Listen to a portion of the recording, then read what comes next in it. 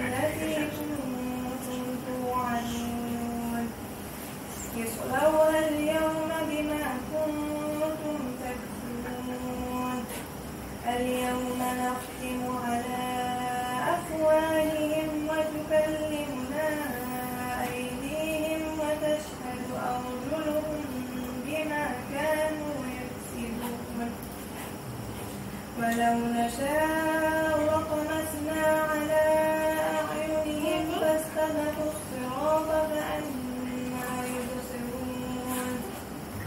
ولو نشاء لمسخناهم على مكانتهم فما استطاعوا مضيا ولا يرجعون. ومن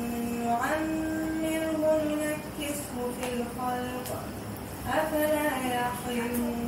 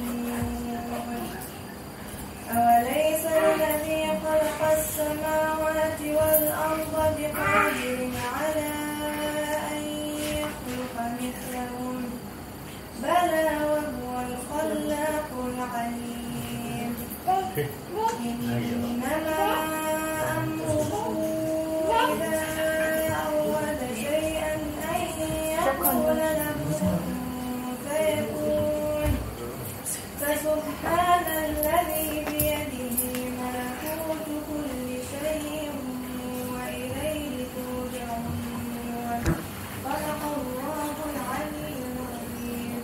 اللهم الله على محمد وعلى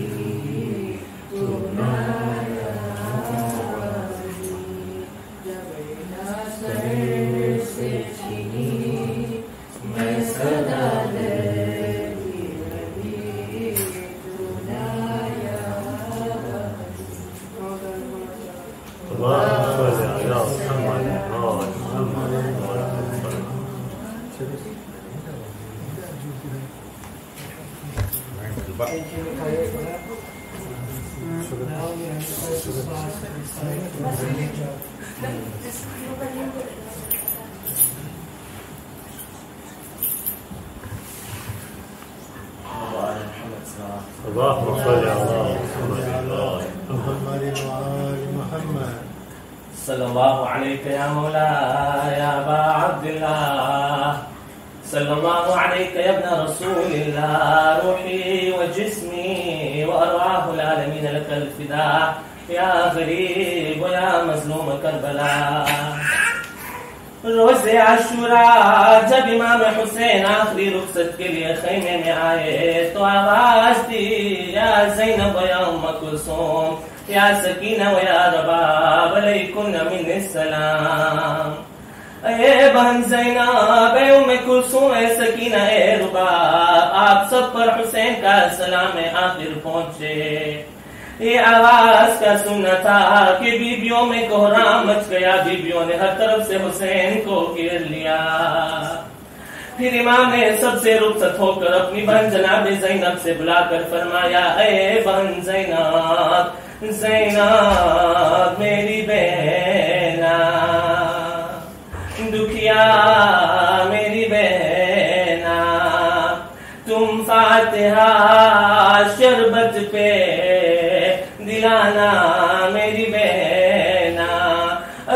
بن زینب، گھر بعد میرے پانی میسر تمہیں ہوئے۔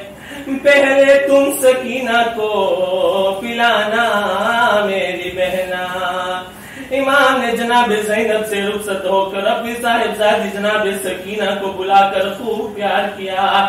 سکینہ کو گلے سے لگا کر فرمایا، اے بیٹی سکینہ، اب ملو گلے سے گلاج کٹے گا۔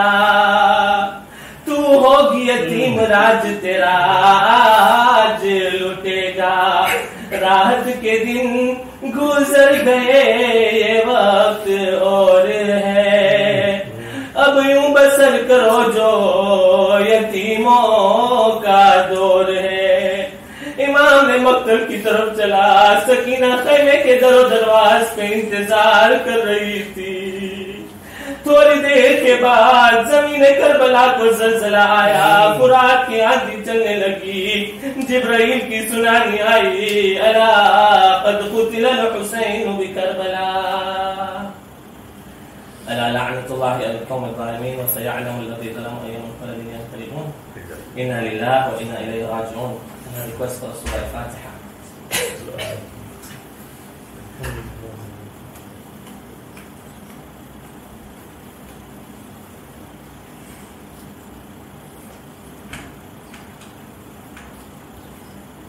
I. I was fortunate enough to take Auntie Baby for various ziyarah trips, and there's one munajat that she always wanted me to recite whenever I was with her. In her honor, I will recite this munajat. جو عرض کربلا ہے ہر عرض سے جدا ہے۔ اس خاک کربلا میں شہ کا ملا ہے شہ کا ملا ہے۔ ہر لادوا مرض کی یہ خاک ہی دوا ہے۔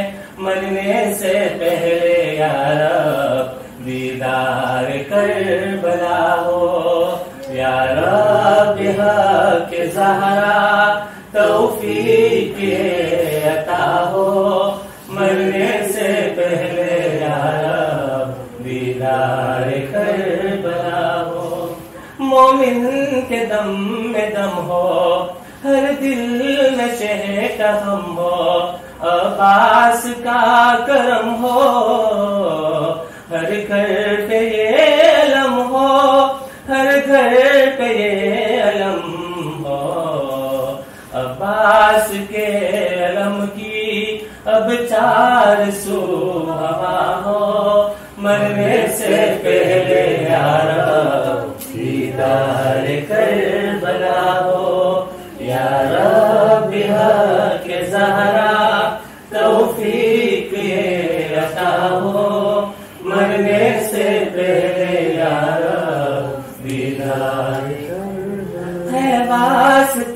حسن کا، قاسم سا گل بدن کا، عباس سب سخن کا، انوار پنجتن کا، انوار پنجتن کا۔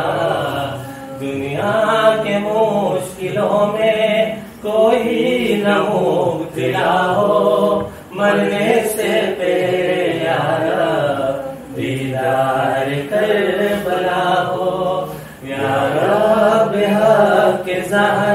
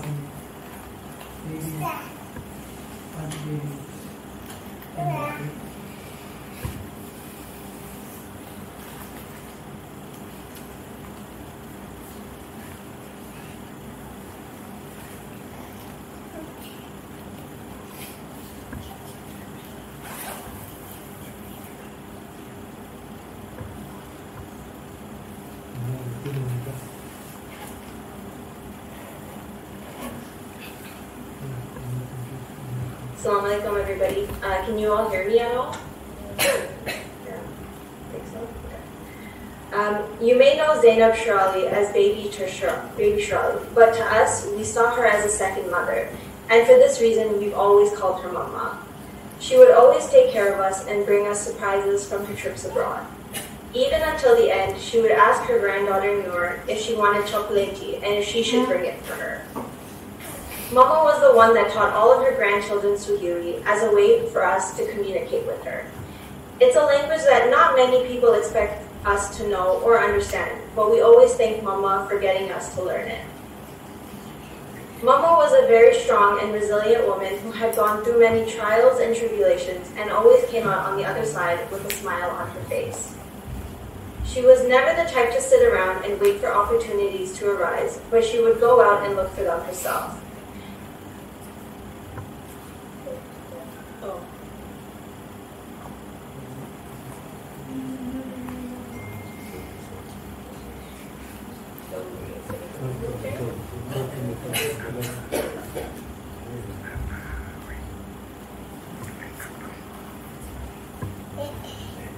Mommy, never mind.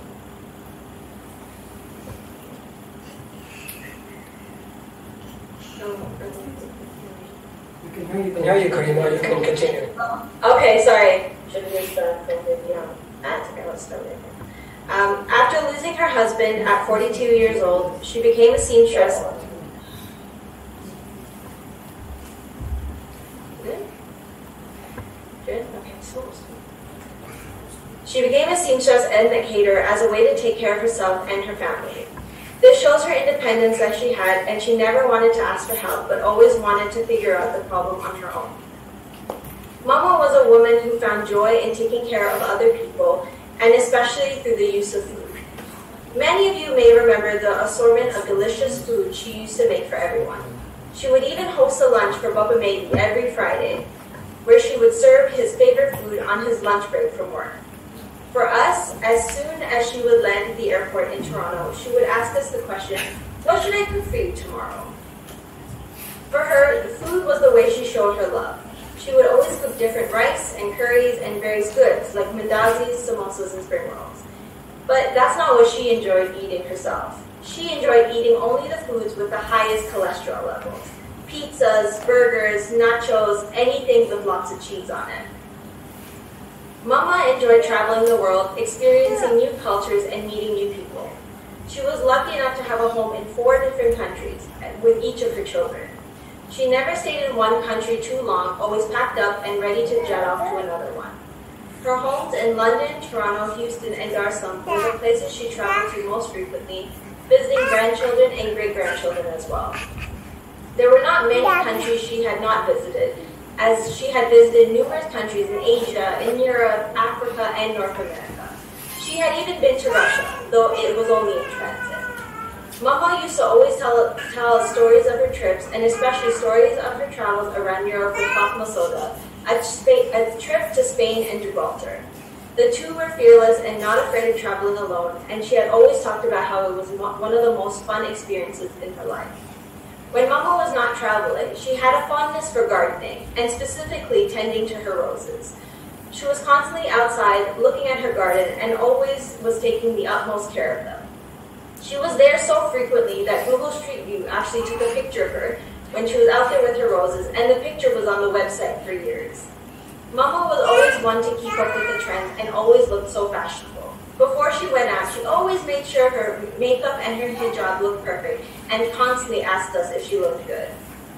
Mama had a personality that was so easy to get along with, and it allowed her to make friends with absolutely everybody. Whenever she arrived in Toronto, she would tell us about the friends she would make on the flight and how she would talk to that person for the entire flight.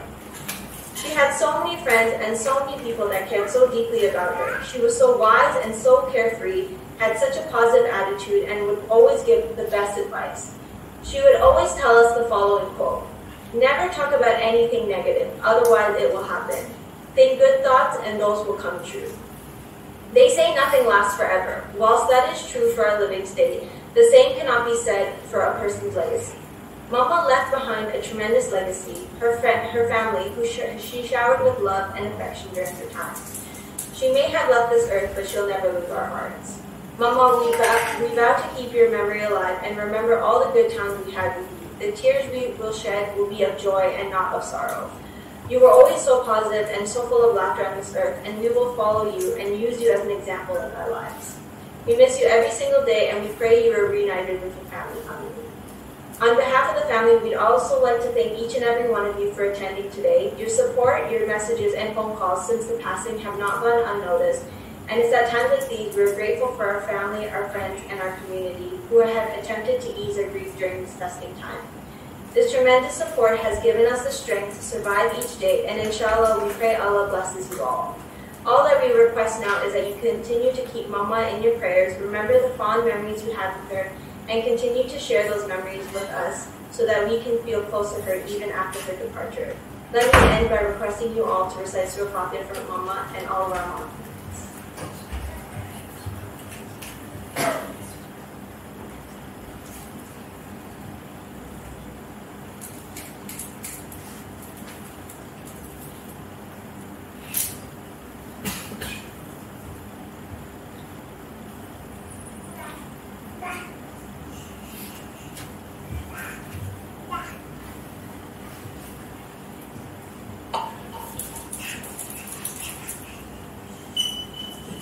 Painful for us as her grandchildren to talk about our grandmother and her life because of the special place she occupies in our hearts.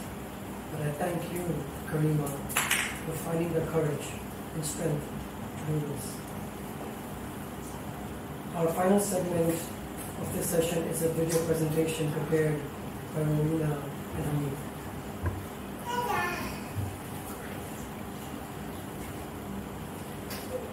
Can you hear me? Yes, Yes, we can hear you. My elders, brothers, and sisters. Before we share the memorial presentation, I wanted to spend a couple of minutes thanking two people behind this tribute. As if it was not for all their efforts and dedication, we would not be in a position to share our efforts today. My first thank you goes to my father-in-law, Ghulam Shirali.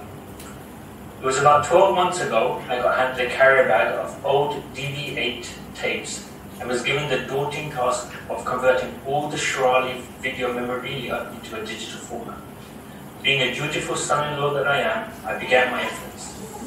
Now, for anyone who has gone through the tasks as such, they know it's a cumbersome and painstakingly tedious task. However, four weeks later, the job was done. Proudly, ha- proudly handing back the carabag of tapes, an external hard drive with all the videos converted to digitally, I was greeted with a thank you.